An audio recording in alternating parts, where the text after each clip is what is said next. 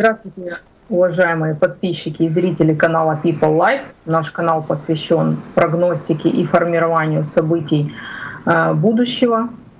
На нашем канале собрано много мастеров, эзотериков, практиков, психологов и других различных направлений. Мое имя Нонна Мусалян. С вами, как всегда, на связи из студии работает мой коллега и соведущий Алексей Курбан.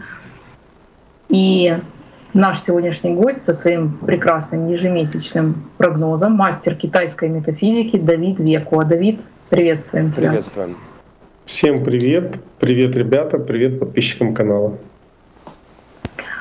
Не терпится уже узнать, э, какие энергии придут в июне месяце. Обычно э, китайский прогноз проигрывается где-то после э, первой декады месяца. Дата съемки нашей сегодняшней интервью 6.06. Месяц какого животного, какие энергии зайдут, какие события ждут Украину, мир и как это будет отыгрываться в дальнейшем. В июне 2023 года с точки зрения китайской метафизики эта энергия называется месяц земляной лошади. Понятное дело, что это экстремально сильный огонь, потому что э, энергия тепла и жара э, достигает максимума в этом месяце. И у нас э, летнее солнцестояние, это будет пик как раз вот этой вот огненной энергии. Но примечательно и интересно следующее, что взаимодействие энергии вот этого, этой земляной лошади или месяца июня с энергией водяного кролика или энергией 2023 года, комбинация этих энергий создает и рождает огонь дополнительный в небе.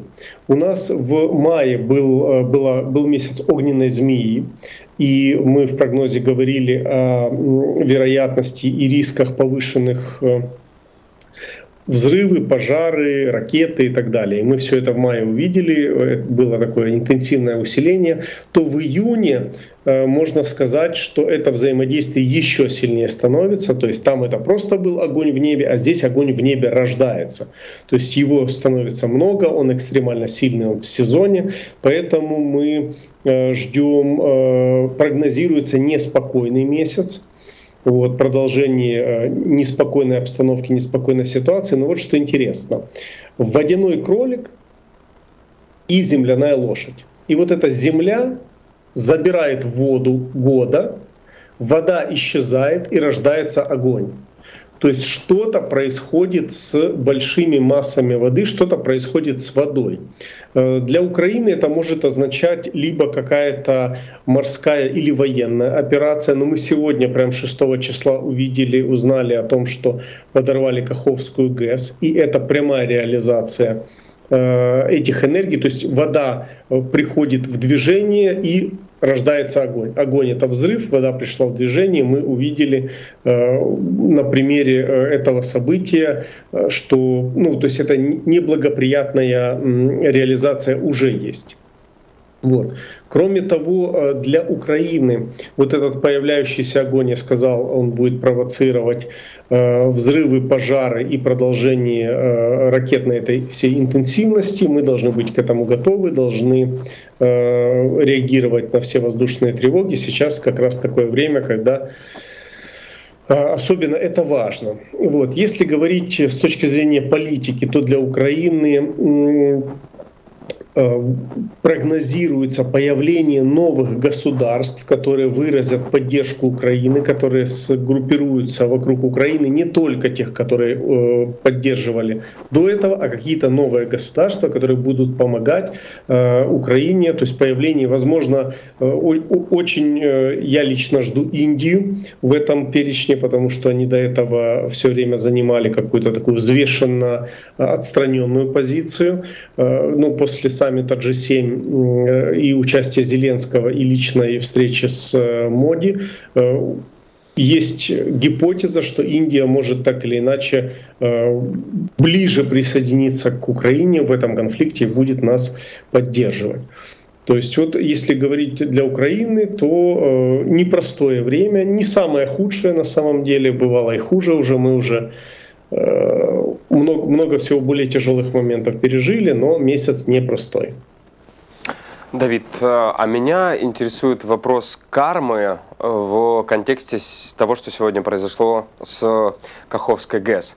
Э, мы знаем, что карма преследует человека за его деяния, а насколько может быть сильна карма за такой большой ущерб природе, как результатом чего стал подрыв Каховской ГЭС? Это же животное, это же большое количество растений, это большое количество просто энергии. Природа может найти того, кто отдал этот преступный приказ, э, приказ тот, кто его выполнил. Чисто вот с энергетической точки зрения. Или человек, который э, делает такое деяние, думает, что ну я же собственноручно не причиняю вреда ничему живому сейчас, здесь и сейчас. Я же просто нажимаю на кнопку.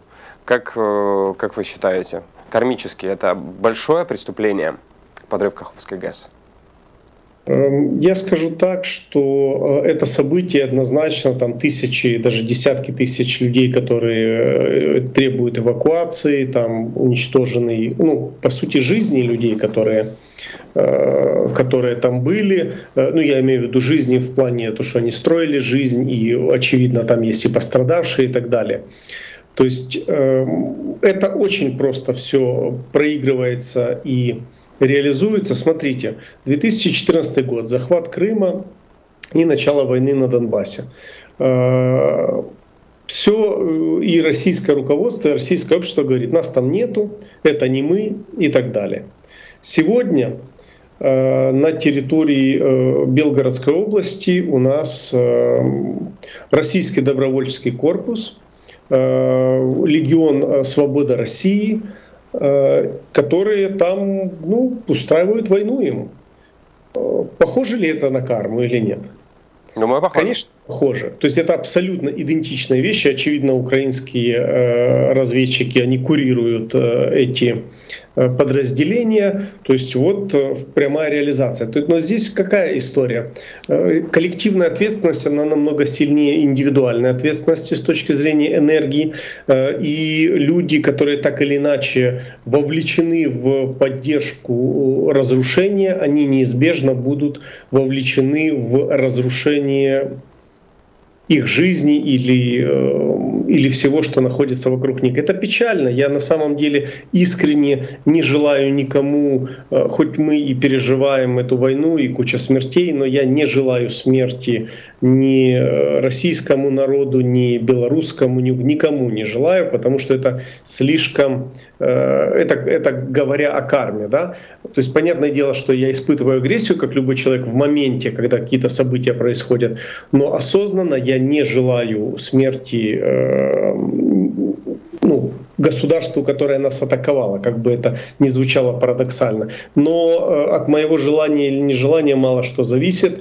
Э, эта история, она, она работает сама, автономно. То есть это механизмы э, всемирные такие. Да? То есть где-то испарилась вода, где-то выпадет дождь нет никакого злого умысла у дождя или у испаренной воды. Просто так происходит. Так и тут.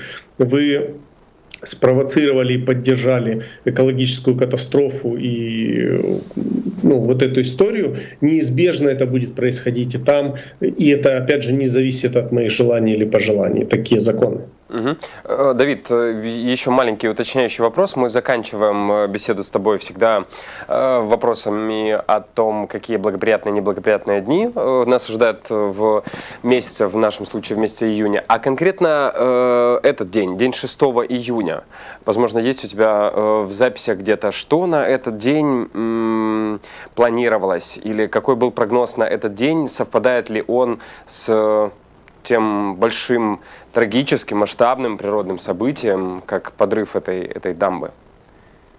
Э, ну вот смотрите, тут выходит так, что эм, почему мои прогнозы, и я всегда прошу вас записывать интервью со мной позже, чем календарный месяц, потому что с точки зрения энергии месяц начинается, ну он смещен, он, он не идеально календарный, да, календарно он упрощен для того, чтобы нам было удобно э, в социальной жизни. А с точки зрения энергии, энергии смещены. И как раз сегодня, 6 э, июня, как раз и начался месяц земляной лошади, лошади, которая и забирает воду, приводит ее в движение и рождает огонь. То есть это прям, ну, то есть сегодня начало энергетическое месяца. Мы сегодня записываем интервью, и сегодня ночью произошло это событие. Поэтому э, как раз эта энергия, которая привела э, эту воду в движение, ну, то есть эти события, они синхронны в с точки зрения энергии. Можно ли было избежать этого? Да, конечно, можно было. То есть это был бы просто более засушливый период, если бы э, действия людей не были бы э, ну, вот такими, какие мы видим. То есть они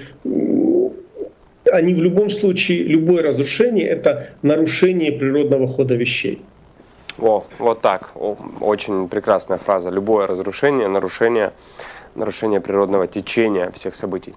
А, еще буквально пара вопросов и перейдем к главному благоприятные и неблагоприятные дни июня. Нонна, прошу.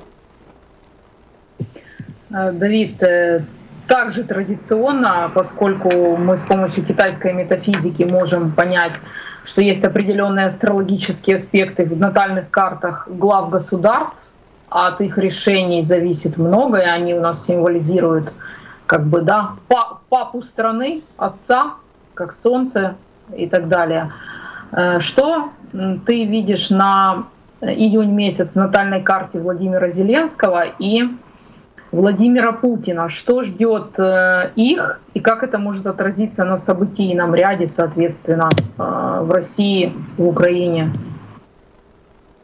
Анализируя карту рождения Владимира Зеленского э, и энергии июня, можно заключить следующее, что его э, давление на э, первые страны мира усилится, он это давление будет еще больше реализовывать, и его давление будет такой силы, что они будут, э, возможно, будут менять векторы своих действий. То есть о каких странах мы говорим? Мы, очевидно, говорим о США, Великобритании, э, Индии и Китае. То есть более, ну, очевидно, это основные игроки. Есть там и другие страны, но мы их всерьез не рассматриваем как первые скрипки. Да? И есть международные крупные организации, такие как ООН, такие как НАТО. То есть влияние конкретно куда э, направление действий будет неясно, э, но 100% куда-то в эту сторону. То есть его давление вовне усиливается, и они подчиняются, и не только подчиняются. Вообще, ну, если в лоб читать эти энергии, то получается так, что власть над Зеленским, ну, условно, да, то есть те люди, которые ему дают добро там, на поставку оружия, на поддержку, ну, они для него де-факто власть. То есть они говорят, будет это или не будет. Структурно и иерархически они для него власть. И э, власть, сливаясь с его действиями, становится братством. То есть была власть, а стали партнеры, стали э, коллеги и э, друзья. То есть, э, возможно, сегодняшние события, которые связаны с Каховской ГЭС, возможно, они будут поводом для усиления давления, а возможно, еще какие-то события произойдут, или его действия, э, то, или Зеленский предпринимает какие-то дополнительные усилия, но вектор э, развития событий для Зеленского именно такой. То есть я уже не первый раз говорил и продолжаю это говорить, нам очень повезло с той удачей, в которой находится Владимир Зеленский, э, и с той картой рождения, убеждение, которое есть именно у него. Опять же, э, отходя от личности, отходя от персонали, исключительно оперируя астрологическими какими-то терминами. Если говорить о военном преступнике Путине, то э, для него э, рождается, энергия рождает еще больше претендентов на новый российский порядок внутри России. То есть те силы, которые мы сегодня видим, Пригожин, Кадыров, РДК, Свобода России, кроме этих сил в июне рождается еще больше. Ну, то есть мы увидим, скорее всего, такую многополярную политическое и, и, возможно, уже и военное противостояние внутри России. Возможно, новые регионы будут э, каких-то своих представителей э, поддерживать, и они будут выступать с какими-то инициативами. Возможно, какие-то политические силы внутри России э, обозначатся и займут какие-то позиции. Но для Путина, для него в мае было просто усиление конкуренции, и мы увидели и выступление агрессивнейшее Пригожина, да, и появление, ну, по сути, новой военной силы, опять же, речь о добровольцах и повстанцах и партизанах России, которые атаковали и Москву, и Московскую область. Э, дронами, то в июне э, их становится еще больше, и мы увидим новую картинку э, военно-политическую России. Она, конечно же, не окончательная, но новые силы обязательно появятся. То есть вот если говорить про президента Зеленского и преступника Путина, то примерно такие взаимодействия с их картами рождения энергии июня. А, подчеркивая для себя, хочу сказать, вот слушая со стороны, что каждый месяц эм, в судьбе Украины судьбе России это как маленькая ступенька, э, поднимаясь на которую мы еще чуть-чуть больше видим в перспективе, э, чего же ждать и что будет как с Россией, так и, так и с Украиной.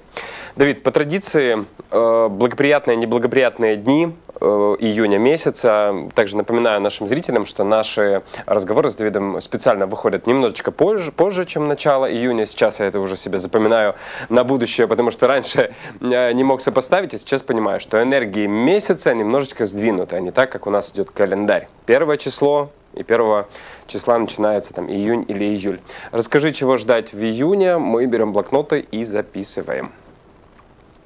Эм, в июне у нас, ну, традиционно давайте выделим неблагоприятные благоприятные дни. К неблагоприятным мы отнесем 11, 14, 23 и 24 июня. Э, напоминаю тем, кто, может быть, первый раз смотрит, э, эти, в эти дни я не рекомендую начинать новые какие-то важные дела, э, принимать судьбоносные решения, выяснять отношения или там, выходить на новую работу, переезжать и так далее. То есть эти дни надо прожить так, как вы и жили до этого, и не дать э, негативной энергии возможности реализоваться. Но это условно. Чем больше вы проявляете внимание и осознанности в эти дни, тем меньше э, они на вас влияют. Чем больше вы теряете э, точку контакта с окружающей реальностью и с собой, э, тем выше вероятности риски ошибок в эти дни. Теперь к благоприятным дням. 10 июня, суббота. Здесь у нас э, э, по китайской метафизике звезда добродетели инь. Э, это означает энергию, которая позволяет налаживать отношения с другими людьми. Если у вас с кем-то напряженные отношения или испорченные, в этот день можно энергия позволяет наладить отношения. Кроме того, любые романтические, семейные, свадебные отношения. То есть все, все, что связано с романтикой, отношениями, в этот день отлично подходит.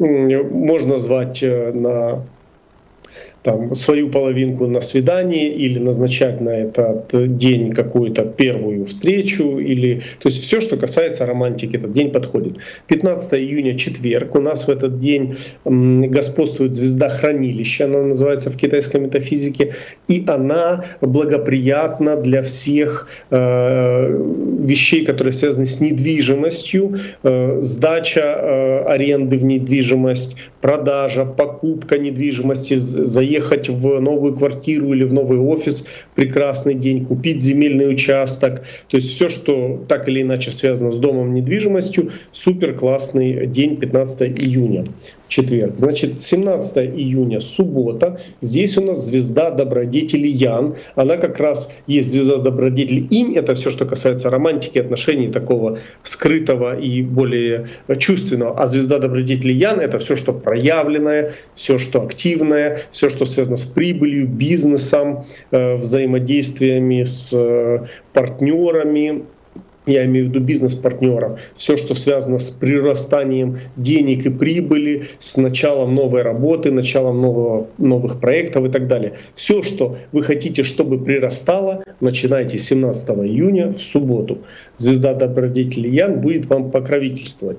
21 июня среда — это у нас день э, летнего солнцестояния, важнейший день, ключевая точка года. Из четырех точек состоит, мы уже об этом говорили, два э, солнцестояния и два равноденствия. Соответственно, точка равноденствия, она задает то, как у вас будут развиваться события следующую четверть года до осеннего э, равноденствия. Летнее солнцестояние, то есть надо в этот день, он, этот день подходит в большинстве случаев для духовных практик, медитации и всего, что связано внутри. Надо держать правильное благоприятное состояние внутри, не реагировать на внешние какие-то э, события, раздражающие факторы, а держать э, состояние, которое направлено на умиротворение, на все хорошее, на все доброе. Если получится этот день пройти таким образом, то вы добавите себе вот этот вектор на, до осеннего равноденствия. Э, дальше у нас благоприятно мы еще один день отнесем, это 27 июня, вторник, и называется этот день ресурсный день. Э, Все, что все, что направлено на поиск новых клиентов, на увеличение продаж, на прибыль, которая может быть с, много, с многолетним эффектом развиваться, то есть тоже финансовые такие для, для деловой, для бизнес-активности и коммерции шикарный день, 27 июня, вторник. Вот. Это то, что по июню, какие дни я выделил как благоприятные и неблагоприятные.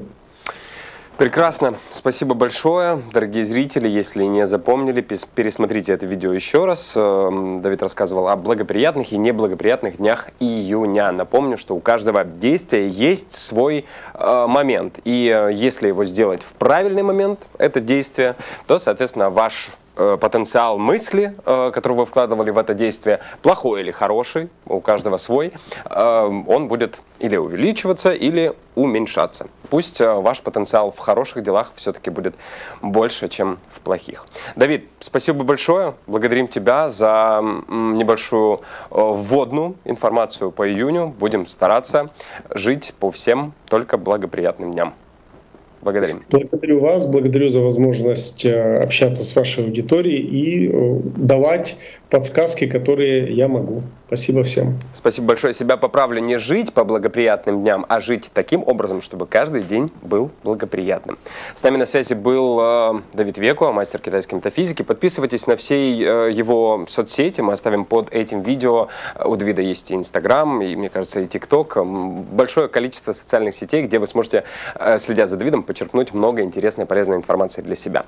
Если же у вас возник какой-то вопрос, оставляйте его в комментариях. Интересно тоже почитать и послушать. На этом пока что все. Берегите себя, берегите своих родных. Все обязательно будет хорошо. До встречи в следующих выпусках. Пока.